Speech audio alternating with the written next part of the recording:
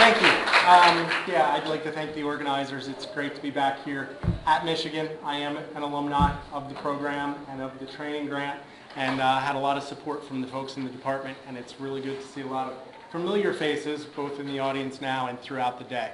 Um, so I, I really appreciated that. uh, I'm not sure whose plan it was to have me speaking at around 4 or 5 o'clock on a Friday, um, but this is uh, the slot that I'm in. So um, it's going to be a little bit different than the talks that you've just heard. Um, this is more of the career talk. Um, sort of bringing up some ideas of things that you can be thinking about and where you might want to um, focus and head and uh, introduce you to some unique career opportunities that maybe uh, you hadn't uh, seen previously. Okay, so to tie it into the um, theme of the conference, uh, ontogeny, uh, and that is the origin and development of the individual organism from uh, embryo to adult. And uh, really, what is your individual uh, career ontogeny? I, I, know I'm taking a little bit of liberty here in the, the meaning, um, but it was the best way that I could sort of um, draw that path or that line and uh, look at um, each stage in your development uh, as you're moving through your career. and I'm going to be using my personal experience um, because I think I, have had a, a, fairly unique experience in order to uh, sort of introduce you to some of these um, unique ideas. And so we'll, we'll follow this sort of yellow or maize and blue line uh, that I've created uh, in order to, to reach those goals. I'd like to start by giving a little background and perspective because everybody's development starts with um, where their background is and what sets them on the path uh, that they're on to become an adult. And I started at the University of Virginia for undergrad. And uh, in my senior year, I had an opportunity uh, to do senior research with Dr. Michael Menaker. He was um, quite a mentor. I want to take this opportunity to really say that you'll see a theme throughout my talk, and that is that there are great mentors at each phase in your career. And it's really those people who can help direct you into and give you guidance into what may be the next step or to help you think through what the next great step in your career might be. Um, Dr. Michael Menaker is a circadian rhythm biologist. And actually, I'd go so, so, far as to say he is the circadian rhythm biologist. He's a, uh, the father of the field. He was in the lab when the idea was even proposed. Since then, he brought the uh, National Science Foundation Center for Biological Timing to the University of Virginia, had it there for the extent that you can have one of these centers, and uh, was very impactful on me. And it was the first time that I really saw the way in which science is conducted at a professional level, as opposed to science from a didactic perspective. And uh, I, I, would venture to say that um, his influence in that was one of the reasons why I pursued uh, a career in science while getting my biology degree at Virginia. I then moved out to Oklahoma, which was uh, really a career choice that was um, focused on uh, a job. I had an opportunity to join an environmental consulting firm. And I got to see the industry side of environmental consulting. While I was there, I, I thought it was a good idea. Uh, my, the vice president to whom I reported um, was adjunct faculty at Oklahoma State. And so I said, why not continue my education and really find um, a nice balance between uh, working life and uh, uh, continuing that, that educational process. And so I got a degree in environmental toxicology. And that really opened the door to the next stage where I became an environment or a, an uh, amphibian endocrinologist. What I did was I looked at um, you know, the impact and effects of chemicals on uh, the metamorphic process in uh, a frog. It's a great model system. It's a, it's a sentinel species because the thyroid hormone system in a frog is just like yours or mine. Um, but metamorphosis is 100% dependent on um, the thyroid hormone action. So after completing my degree there and being quite a ways from home, I'm from the East Coast, I decided to come back. And I had an opportunity to move on to a, a job in government. Uh, the U.S. Army Center for Environmental Health Research uh, is located on Fort Detrick in uh, Frederick, Maryland. And I went there um, in an effort to begin developing um, some assays to identify endocrine disrupting chemicals based on some congressional legislation that said we needed to begin looking at, at this more seriously. and I had a master's degree and, and I understood the process of developing assays and things, but I really started to learn how it fit into the greater picture of science. But while I was there, I also understood that I'd never be able to really develop my own science with a master's degree working in a government lab. Uh, what I could do was be part of a, an important team. And I saw how I can make contributions, but I decided I wanted to take it another step further. And uh, at that time, I decided to look for some of the, the best amphibian endocrinologists I could find, and one happened to be here at Michigan. Um, and so that's how I made it, made it up to Michigan. And I, I came to the Department of Molecular Cellular Developmental Biology, um, where I started to study TSH in the brain of a frog that doesn't even live in the US. And I said, I'm focusing on a 21 amino acid peptide. How is that really making a difference? What I wanted to do was really be able to make a difference incrementally moves a field forward that's very important. And that's a, a, great endeavor, but it's not the one that I wanted to choose. And so uh, I transferred over here to the School of Public Health, where I found another great mentor. And if you don't recognize her, this is Dr. Loch-Caruso. And I'd like to take this as my first lecture back here at Michigan since leaving um, to, to really thank her for the guidance and the mentorship that she really provided to me, um, which has uh, absolutely benefited me in everything else you're going to see here today. Um, because it really set me on a path uh, to be able to be successful um, through that, that well-grounded education. So that brings us up to um, August of 2009 when I defended and was ready to head out into the real world. Um, from talking to Justin and other students, it, it, seems that every one of you are going to have to do that at some point. Maybe not today. Uh, I, I was actually surprised to see how, just how many of the um, folks that I know who are within six months of graduation. Uh, there's a lot of you right now. And, uh, and one of the um, real choices you're going to have to face is do I go to industry? And, you know, I had an industry experience. I was, you know, an environmental consulting firm, knew a little bit about what that is. And there are great opportunities there to do real impactful science, uh, both at the bench, uh, theoretical, computer-based, um, you name it. Or do I go to academia? And I'd been in school uh, I guess between a bachelor's, two masters, and a doctorate at that point for a little over a decade. And so I thought I understood the uh, academia route fairly well and what was involved in that. And if I wanted to be a PI, for instance, and writing grants and pursuing uh, that avenue, which is also a great opportunity to move a field forward, be impactful to human health. Um, and then I had another choice. I could go into government. And what I did uh, was I chose a route that went through the public health service. So um, I'm here in uniform, and this isn't the Navy uniform. This is very much like the one um, uh, Tom Cruise, you know, would wear, but this isn't it. This is the public health service. Um, it's the only uniformed uh, service in the world with the sole focus of promoting health and wellness. How did I get introduced to it?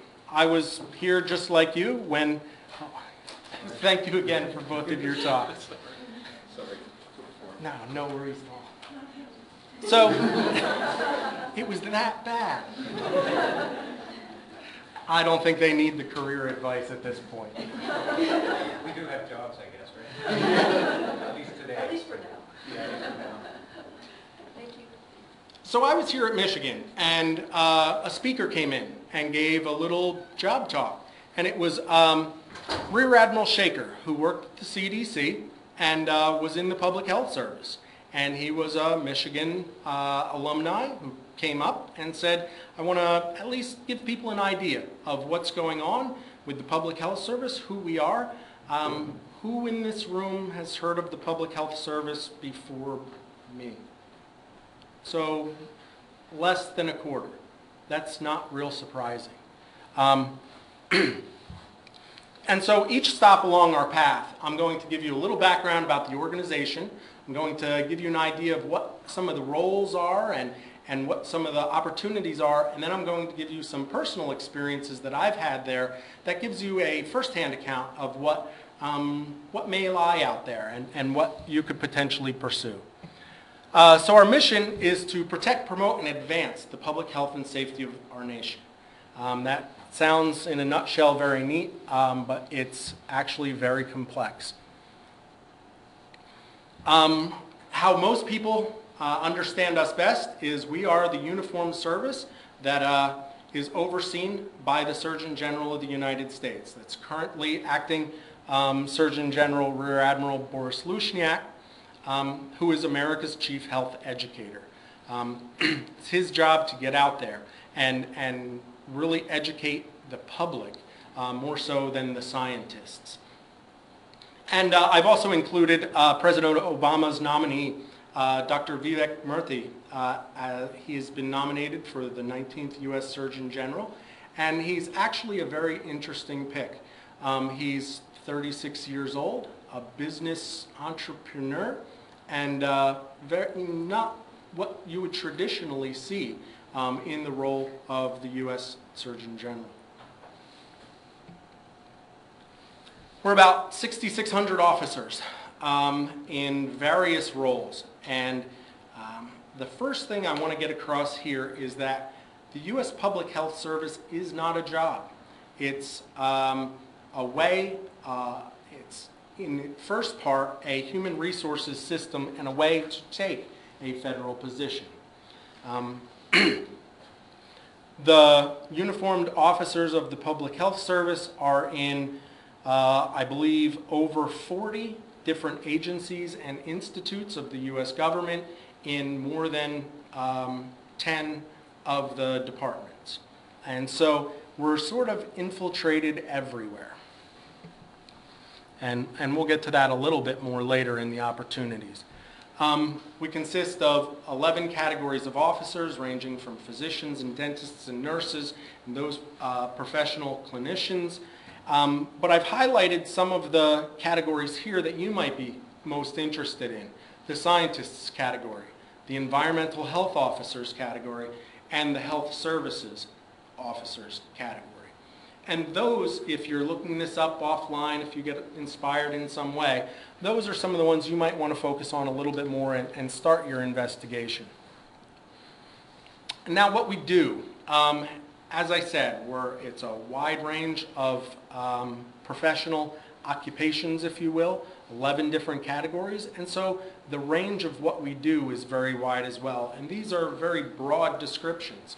Uh, and I understand that. So really it's um, many of the positions that you would look for in a government agency are things that potentially could be done as a public health service officer if you chose that route, as opposed to a GS civil servant.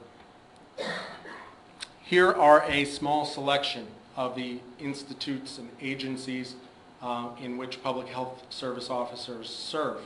Um, the two I'll be, oh, hmm, I didn't realize this was even on here. There we go. The two that I'll be uh, speaking about most today are the NIEHS and the US EPA. Um, But we are, uh, throughout the government, CDC and ATSDR obviously are are big areas, as is um, the FDA, because the Public Health Service is actually located in the Department of Health and Human Services, as are these um, agencies. Where can you do this work? Just about anywhere. Um, I don't know where your hometown is, but uh, chances are there's a public health service officer serving not far uh, from where you are. So I've talked to you a little bit about the first half, where the public health service is a way of taking a federal position. Um, but there's also a second half of the job of being a public health service officer. It isn't just about putting on a uniform, going and doing your job, coming home and taking it off. You're actually a 24/7 asset of the U.S. government. And where that comes in and has its greatest impact is in the response to emergency and humanitarian response efforts.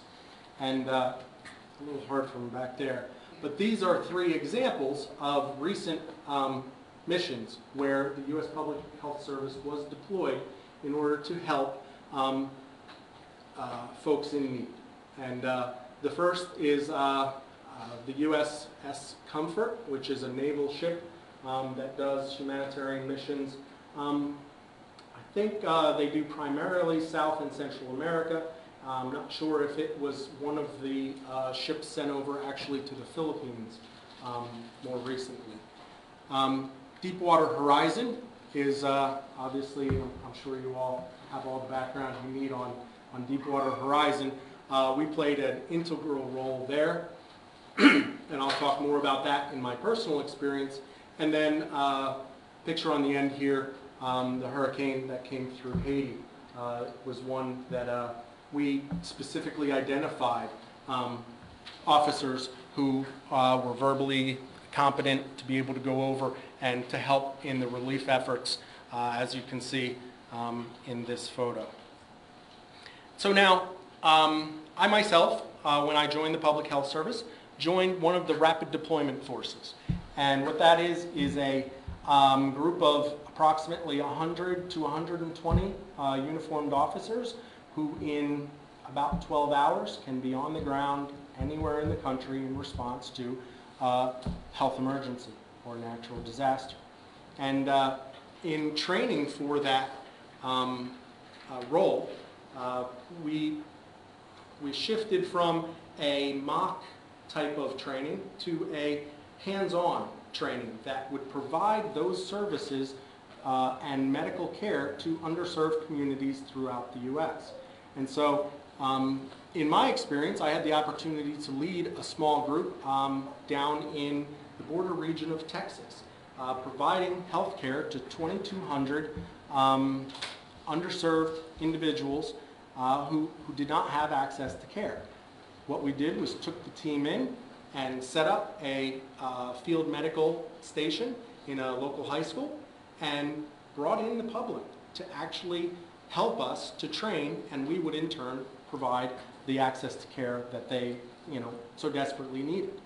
Um, another example of a, a, deployment that I had was actually with Deepwater Horizon.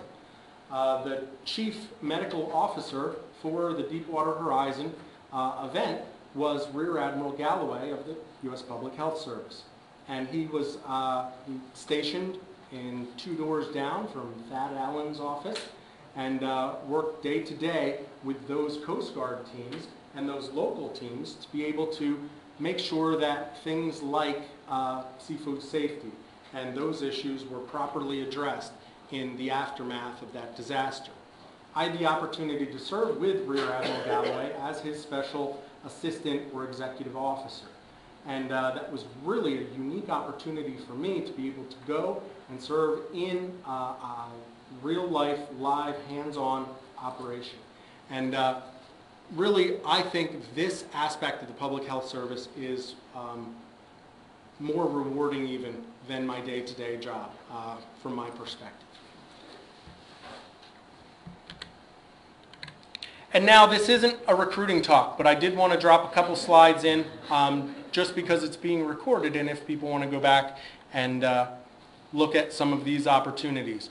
Um, There are Commission Corps officer student training and extern opportunities um, from the time that you're still in school. This provides stipends, this provides um, internship and learning opportunities. Um, I encourage you to look into these if you have an interest in perhaps wanting to serve in the public health service after graduation.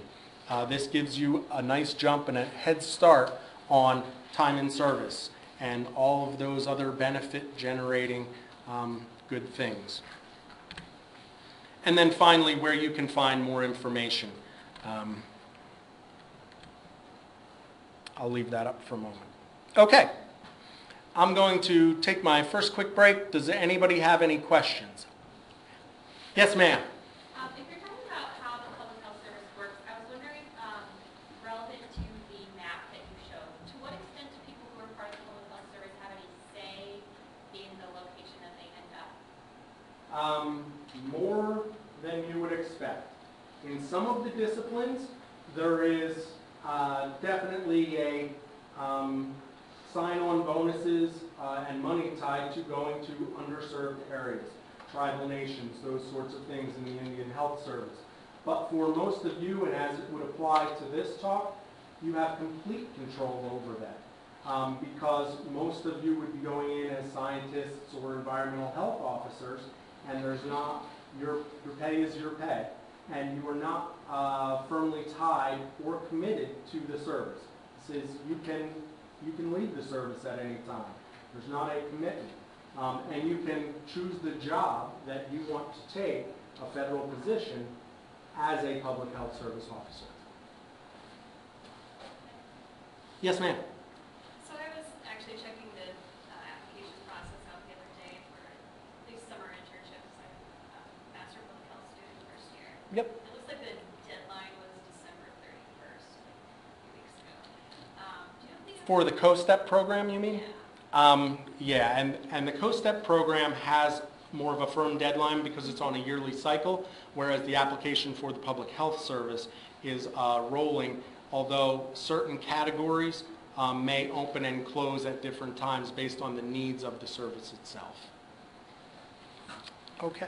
One more question. Oh, yes, ma'am. Um, so it looks like you are really spread out across the country. Do all of the 6,600 or whatever public health officers ever get together? Do you have a chance to discuss what your priorities are, or is that determined and told to? The priorities, I would say, come down from both our internal leadership and the leadership of the agencies and institutes in which we serve. Um, because you have to remember that we're really there to meet their mission.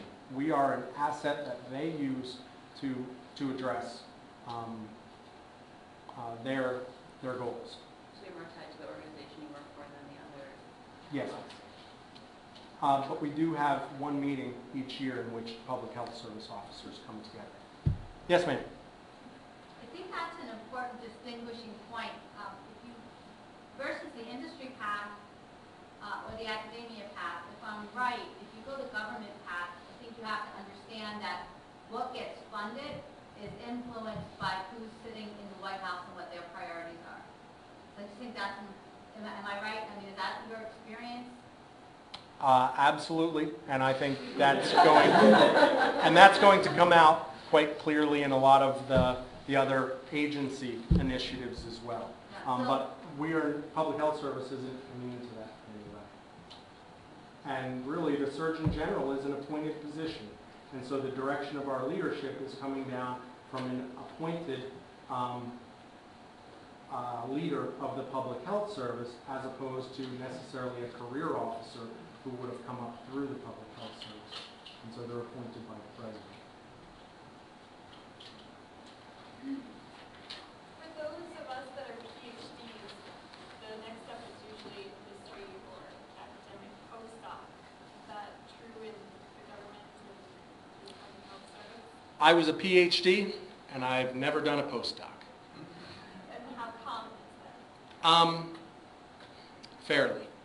And uh, it's more common that you do a postdoc if your end goal is to be a bench researcher or a um, intramural program researcher. and that's very common. But there are a lot of roles in government for uh, master's students and PhD students that are not bench scientists and are not in a laboratory per se setting. And uh, some of those are, are some of the opportunities we're, we're just about to get to. Okay, so I told you that it's not a job. You get um, approved for commissioning, but then you need to go out and find yourself a job. And so the first place and, and where I thought I wanted to work was the US EPA. And so I applied for a couple positions there and uh, interviewed, and fortunately enough, um, I, uh, I was offered. So very quickly about the US EPA's organization.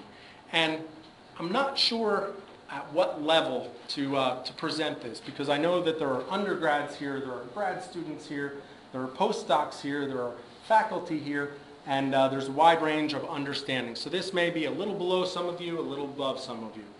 Um, the US EPA is uh, led by an administrator who is appointed by the president. So again, we see where politics may be driving some of the senior leadership and decisions of an agency um, and its mission. Um, the US EPA has uh, program offices, for instance, air, water, and uh, the solid waste and emergency response, or land. It has chemical safety for and pollution prevention, which is, has pesticide programs and some of those um, under it, as well as in, uh, enforcement and compliance. That's a big one. That shows you EPA is a regulatory agency. Uh, and that's very important in its culture.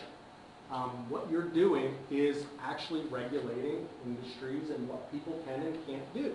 And that is oftentimes a very touchy um, uh, issue. Uh, there's tribal affairs and there's resource management. Um, and then there are regional offices. So there are 10 regional offices across the U.S. which also have opportunities. Um, and those regional offices are the ones who really get in touch with their local area and make sure that what we're doing is in keeping with the ideas and the needs of the, of the, the entire country and not just Washington, D.C. or Research Triangle Park or Cincinnati. Now I've highlighted these two in the middle um, because these are the two I'll be talking about most. The first is um, the Assistant uh, or the Office of Environmental Information. And you wouldn't think of that as some place that a scientist would go unless it was a computer scientist. That's actually where I started my career at the US EPA. What these two offices have in common is that they're both um, support offices for the rest of the agency. And in being the environmental information provides support in uh, making data accessible and big data and data science and some of those issues, while research and development does a lot of the research that supports the decision making in the program offices. So now to get back on our maize and blue path, I joined the Office of Environmental Information. And uh, I, in that, I joined the Toxics Release Inventory. So in 1984, in Bhopal, India, there was a uh, huge disaster at a Union Carbide plant where 20,000 um, people were killed by a release of methyl isocyanate.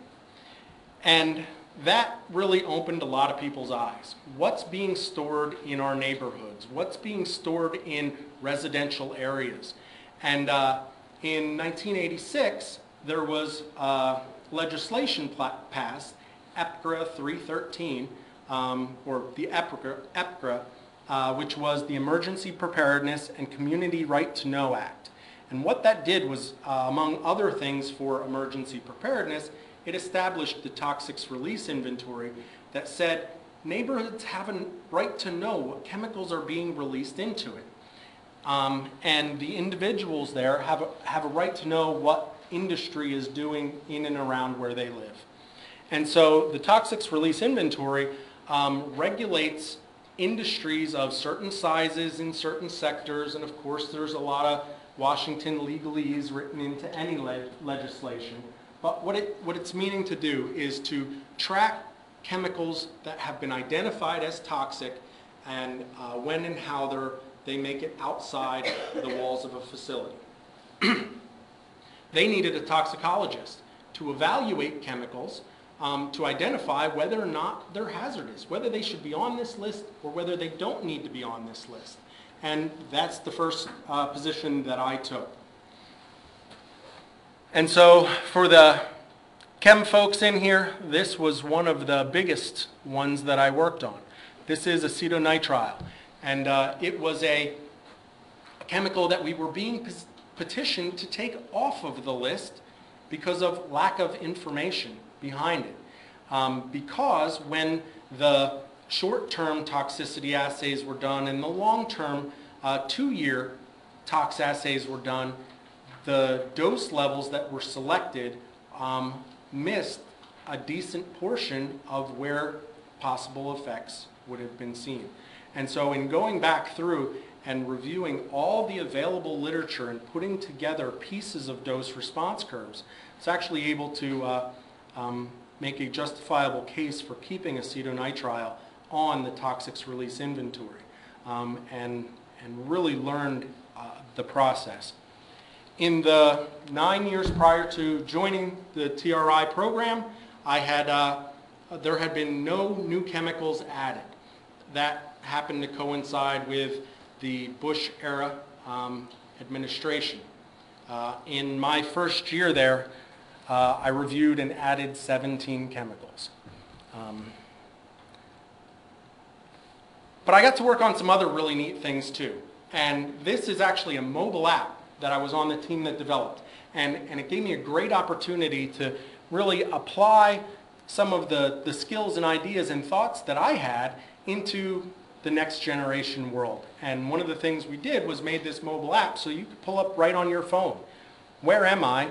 What types of facilities are around me that need to be reporting into the TRI program or some of the other reporting databases we incorporated as well. And so now you can still download this onto your phone and, uh, and look at what's in my neighborhood.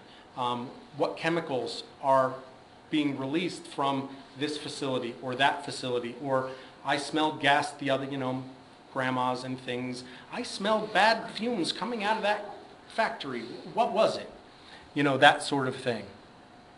then after serving there for two years, um, I saw an opportunity to move on to the Office of Research and Development. And it was an opportunity that I, I couldn't really pass up because after being in Office of uh, Environmental Information, I got to see where a lot of the research was being done and a lot of the science was being done in the EPA, and ORD is really where it was focused. And so I, I kind of wanted to get in there, and, uh, and I ended up having a great opportunity. So quickly, the Office of Research and Development, as I said previously, supports the program offices with research to which they can use to support their policies, regulations, and congressional mandates. In addition, it supports the regional offices with scientific expertise and scientific liaisons. And all of those work toward EPA's mission to protect human health and the environment. Uh, just a quick idea to give you a size and scope. Um, I don't think any of this is proprietary, at least I hope not. Um, so it's just under 2,000 people. Uh, in 2012, sorry for the datedness of the, some of these slides, this is about um, uh, the most recent information I had, but uh, fairly sizable budget. You're looking at uh, just under 600 million.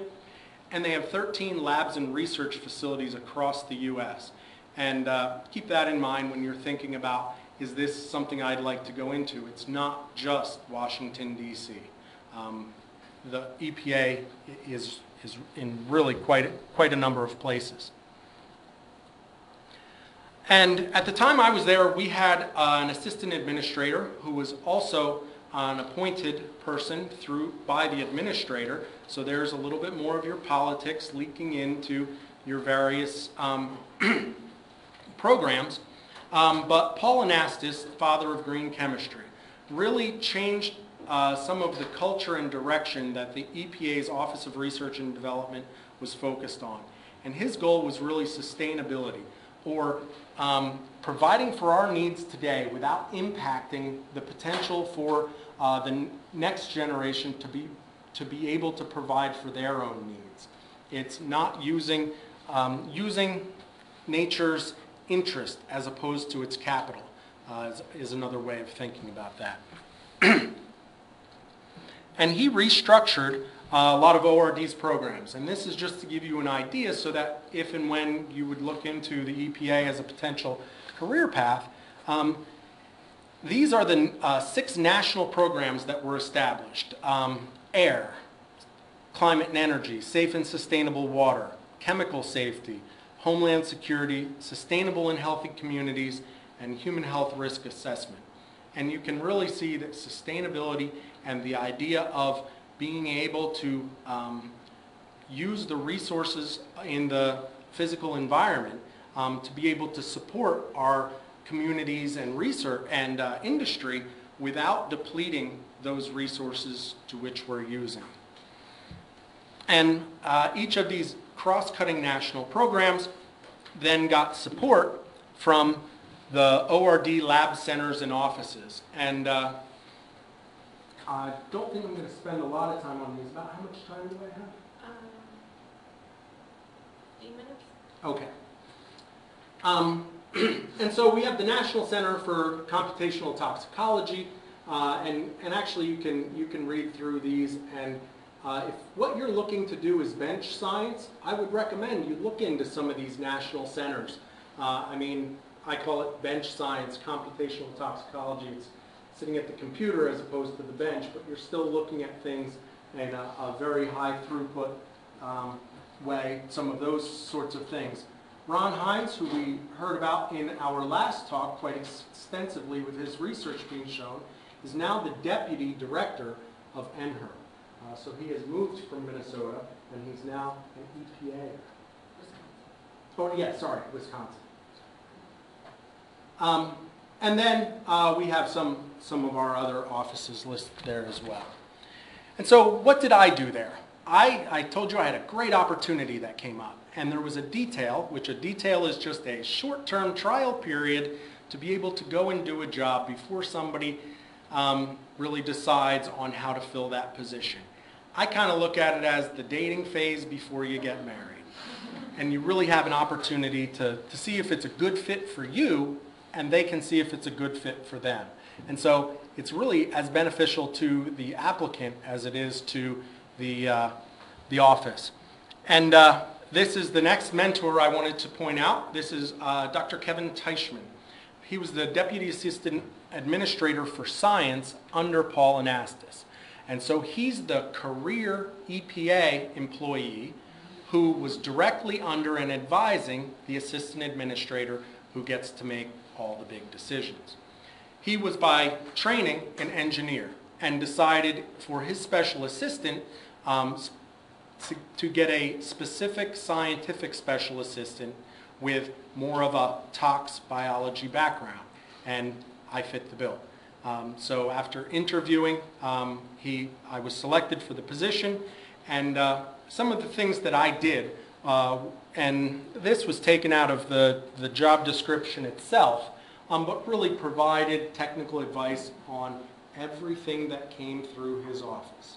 And so it's a lot of reading briefs, it's a lot of talking with people to get the backstory, to make sure that he has the information he needs to be able to make quality recommendations to the assistant administrator.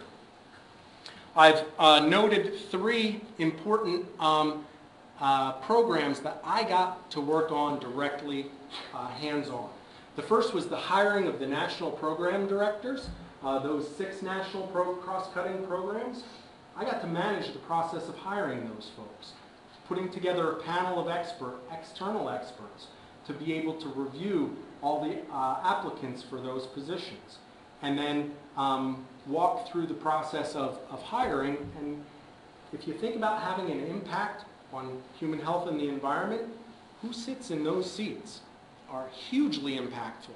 Um, and so thereby at that early stage in my career, had an opportunity to really um, have an impact on ORDs looking into the future. I also worked on a scientific integrity policy. Um, Scientific integrity uh, policies were mandated for all the executive branch agencies by the president. He said, we need to address this um, firmly and fully. What can scientists talk about? And finally, I worked on a non-monotonic dose response state of science paper. This is a highly contentious area. I don't think I have a lot of time to go into it, um, but we put together a draft, um, uh, draft analysis of the state of science. And I actually got to be the chair of the working group that put this together. On that working group are the absolute experts in the field from the EPA, the FDA, and NIEHS. Included in that is the Associate Director of the National Toxicology Program. You know, folks like that, and get to, get to put together a meaningful piece of scientific um, evaluation that's now being reviewed by the NRC. And uh, I, you know, I certainly didn't control what information went into it, merely the process, and, and was able to contribute my own ideas as well as we went. And um, I'm sure Dr. Meeker is, and Dr. Cruz are eagerly looking to see uh, what comes out of this. Um, and um, I need to, I, just for time, need to skip what non-monotonic dose responses are. But uh, these were the only two data graphs in my whole talk. So after the last talk, I, I thought maybe we'll take it a step down. Uh, and so moving along our maize and blue path. Uh, after serving there for another year and a half, two years or so, I got an opportunity with the National Institutes of Health. Um, I think due to time, I'm going to move through this a little more quickly, uh, just to be able to leave a little bit uh, more time at the end, rather than invite questions again on EPA now. We'll save those till the end. Uh, so this is a picture of the campus in Bethesda, Maryland, where uh, the majority of the institutes uh, that make up the National Institutes of Health are located. This is an enormous campus. I think it's over 300 acres. And uh, it's um, probably the uh, uh, greatest um, research institute for health in the world. Um, there's, there's really, I would say, no comparison. its mission uh, to uncover new knowledge that will lead to better health for everyone. It has a substantial budget. As of a week ago or so, we all found out that it has a budget of $29.9 billion. How is that budget broken up? Uh, we can see research grants. This is what's known as an extramural program, and this is what both of our speakers who uh, spoke previously today, they both talked about money that came out of this pool. Um, there are also intramural research. Uh, this is actual bench science done at the National Institute um, where the research is done hands-on right there, as opposed to the money going out to academic universities or institutes or small businesses. Um, this is the internal research that's done. So I bring this up because there are opportunities for um, uh, scientists in both of these programs. It's not just the hands-on at the bench pro, uh, where scientists can have uh, or you know MPH um, opportunities, but also in reviewing and establishing the programs that uh, manage these grants. Um, so keep in mind that there are all there are many different ways within the NIH to get involved uh, or to, to join the team. Very quickly, uh, this is what the makeup of the NIH looks like, and the only one I'm going to comment on, because it probably applies most to this audience, is the biggest number on here is po postdoctoral fellows. How do they get their work done? How do they actually do their research? This is a huge number of folks, and there are a, a lot of training, uh, postdoctoral training opportunities at the NIH that I would um, um, encourage you to pursue if, uh, if bench science is something you are interested in. I'm going to skip the key elements and move on to, uh, these are the 27 institutes that make up the National Institutes of Health, all surrounded by Dr. Collins' Office of the Director. And the opportunity that I had with the NIH was in the National Institute of Environmental Health Sciences.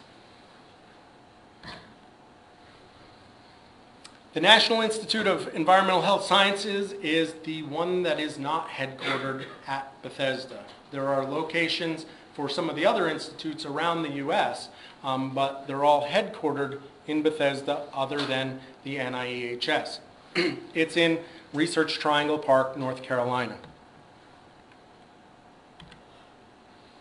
Its mission is to discover how the environment affects people in order to promote healthier lives. The only one that's looking at the environmental contributions to health. Many of the others are looking at children's health, aging, uh, addiction, those sorts of things. Uh, specific diseases like cancers, the, uh, probably, I think it's the biggest. Um, we look at the way in which environment contributes to human health in general. Why should we be concerned? Well, because these increases in adverse um, outcomes uh, that we see over relatively short periods of time can't be attributable to genetics. It just doesn't work that way. Uh, we don't see genetic drift since 1980 or since 1990.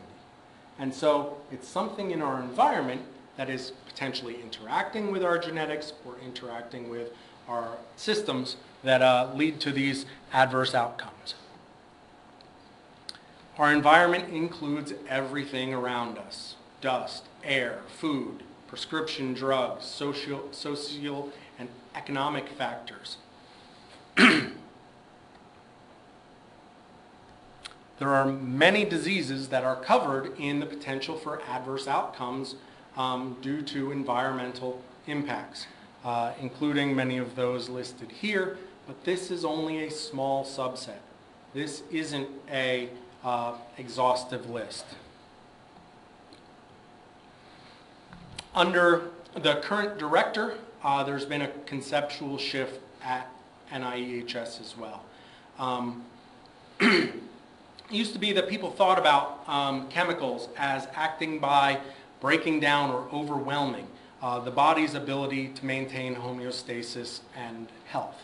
Um, whereas now we're looking that chemicals can also act like hormones and drugs to disrupt uh, pathways um, well upstream of the adverse outcome that's being looked at. Um, and it can happen at very low doses um, and in uh, susceptible populations. And some of those windows of susceptibility are uh, during development.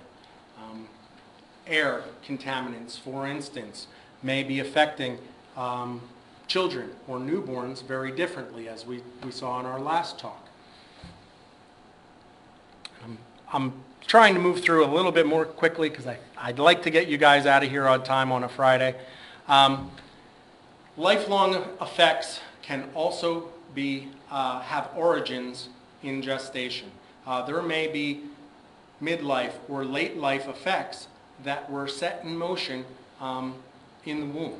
And uh, Michigan actually has some researchers uh, working very closely on, on these types of issues. Um, these all are, are meant to give you an idea of the types of things that the NIEHS is focused on looking at, and thereby giving you an idea of perhaps what some of the opportunities um, for scientific researchers uh, are at, at the NIEHS. Um, many, there are many different estimations. A lot of people say there are 80,000 chemicals in commerce, of which really though 15,000 make it outside of a manufacturing process or uh, potentially have a, a level of exposure which would make them an environmental concern. Um, most of these have little or no data, as I'm sure this group is aware. Um, and how do we go about identifying what the hazard uh, or the risk associated with these chemicals are? The NIEHS also houses uh, the National Toxicology Program.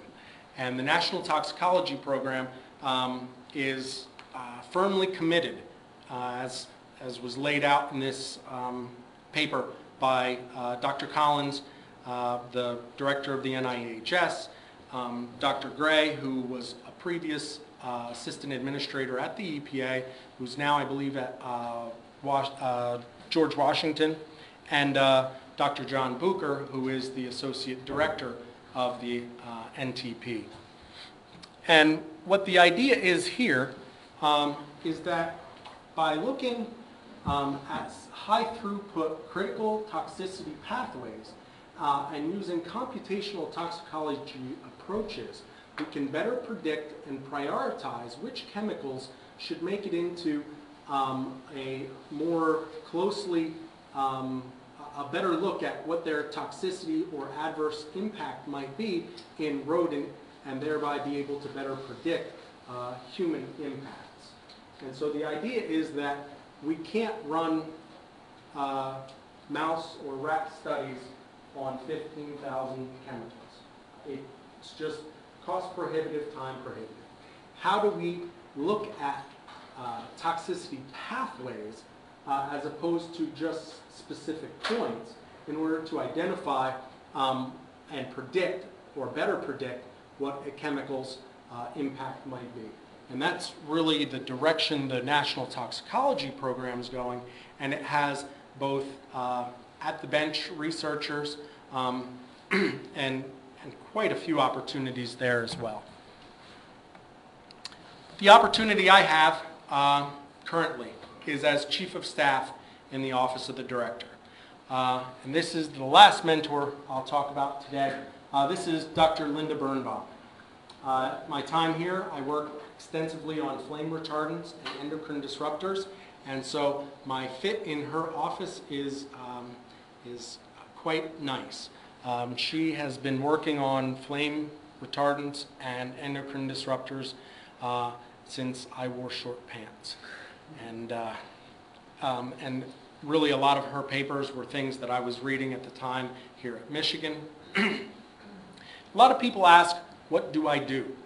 Um, I had a list of about 13 different um, roles and responsibilities in my position description uh, when, I, when I took this position. The one that I would say is the most important and gets used the most is other duties as assigned.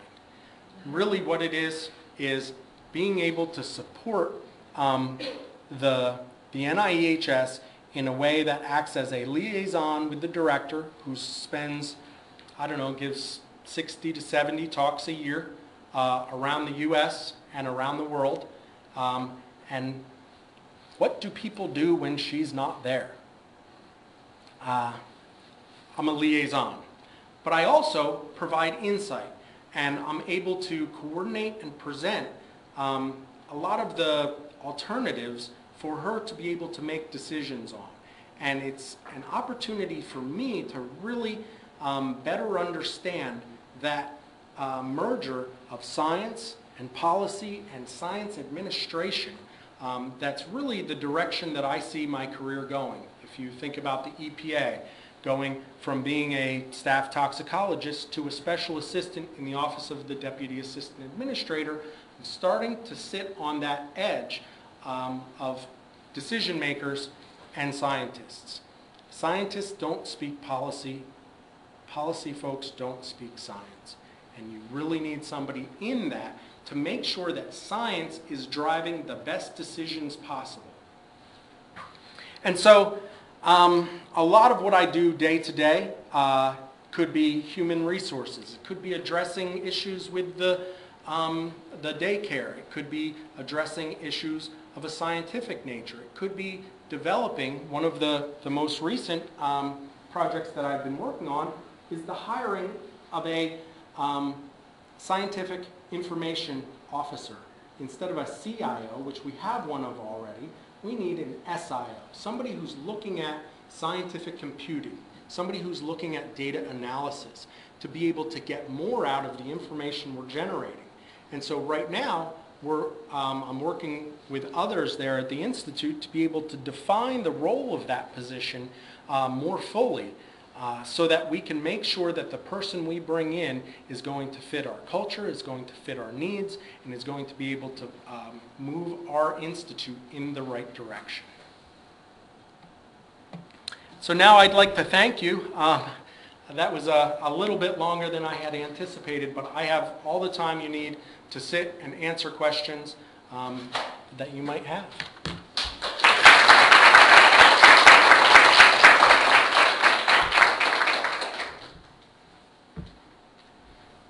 We have one. How is the hiring process affected, let's say in EPA or NIH if you're a foreigner? The hiring process. You can still work there, but there are limitations. I'm not an HR expert. Um, but I do know that many of our, our positions and many of our folks there are not US citizens. So there are avenues to be able to, to move into scientific careers. So if you're foreign born but have the citizenship or a green card, that loosens up the restrictions or? Um, certainly don't quote me, but I don't think there would be any real restrictions at that point. Okay, thank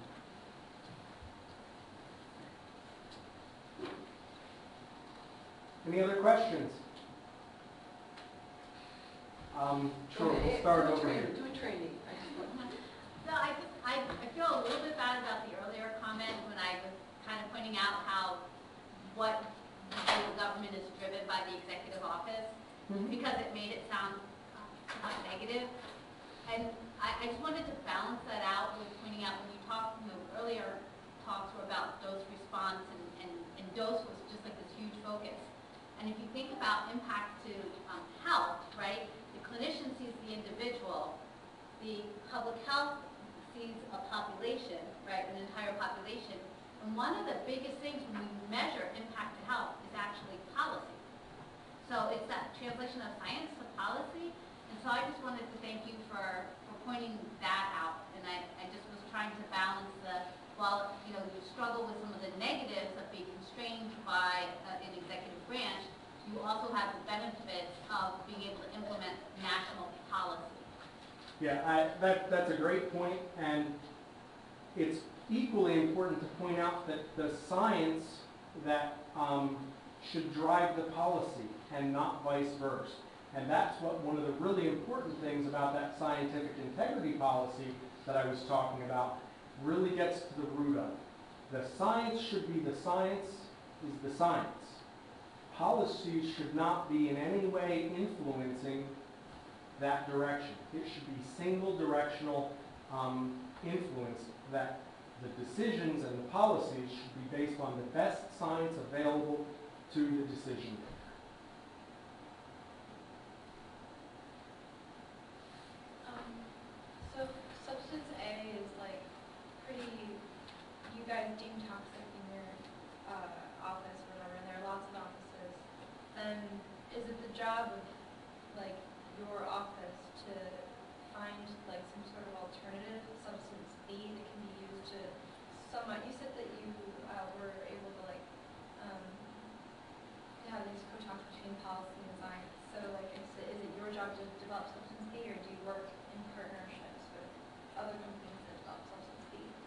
Let's say we find that substance A, arsenic, has toxicity associated with it. Um, then that is the science that drives it. At such and such a level, we see these adverse effects. That then gets taken and it's not the scientist's job to then do anything with that information.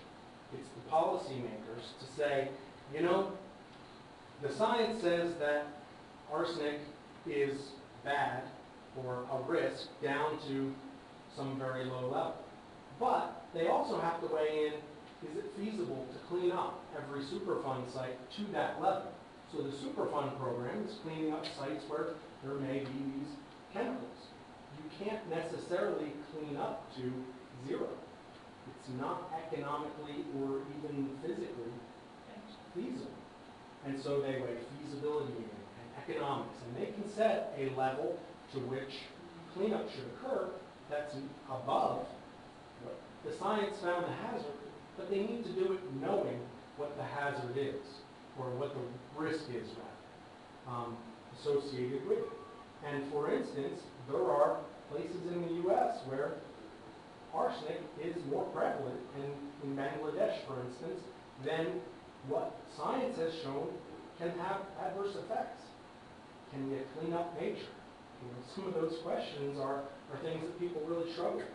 And if you're an administrator and you know that it may be then having adverse effects, you have to do your best to limit exposure in order to limit that risk. Rita have one? I was gonna ask you again, what year you graduated with your PhD?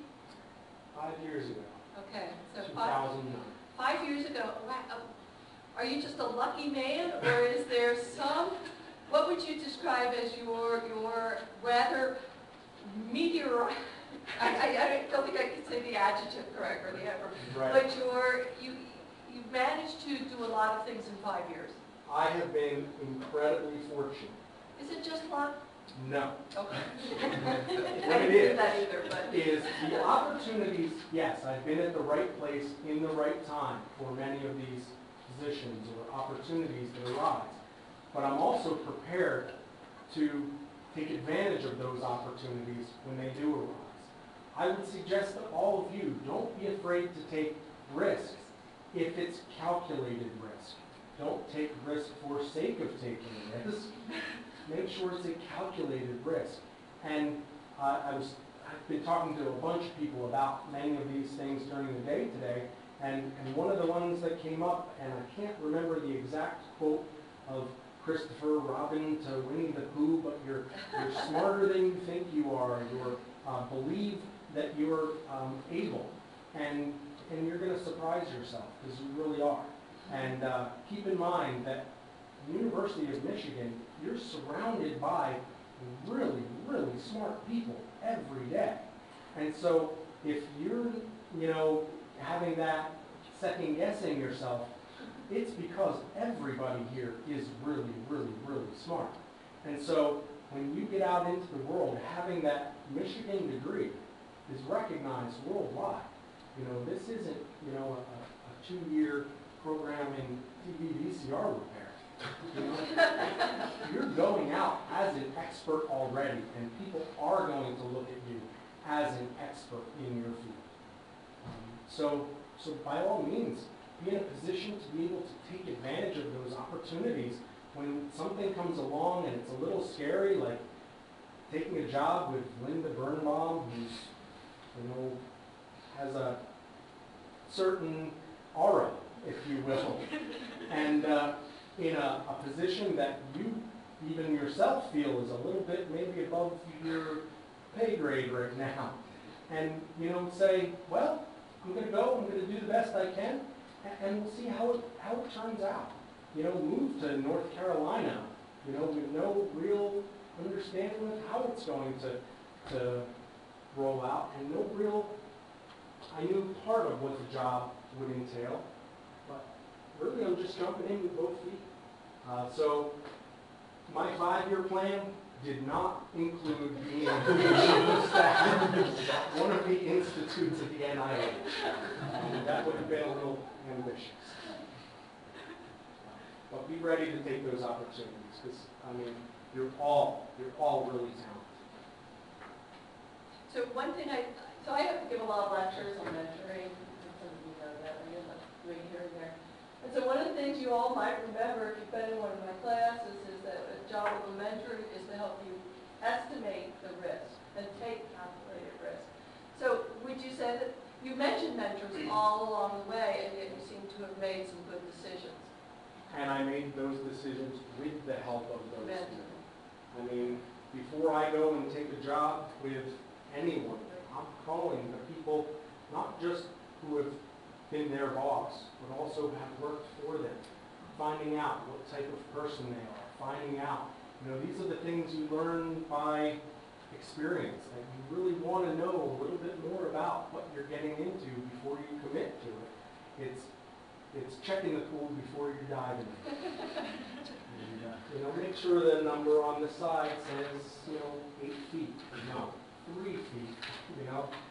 Um, So, so really, just go, uh, if you have any additional questions, you're always welcome to contact me. I I have a few business cards left today, if you'd like one after this, if you want to be able to talk through your, your particular situation. Um, It's, it's kind of a whirlwind here, what I was able to give, and there was way more information that I would have liked to be able to share than I had an opportunity to today.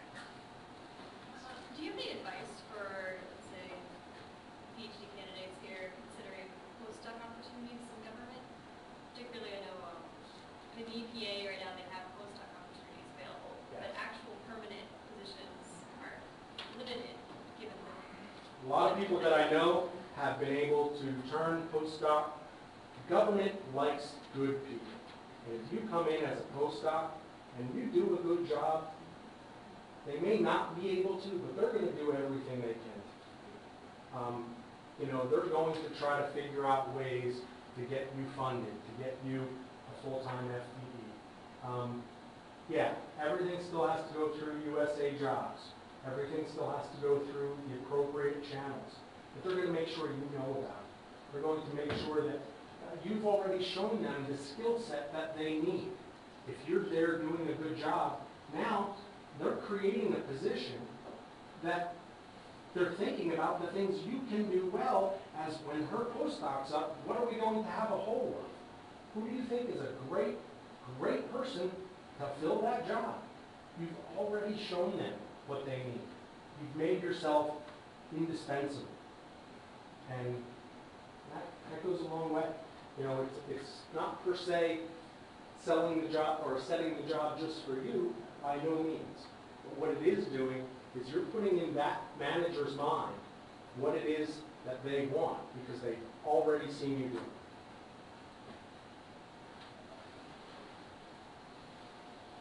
Okay.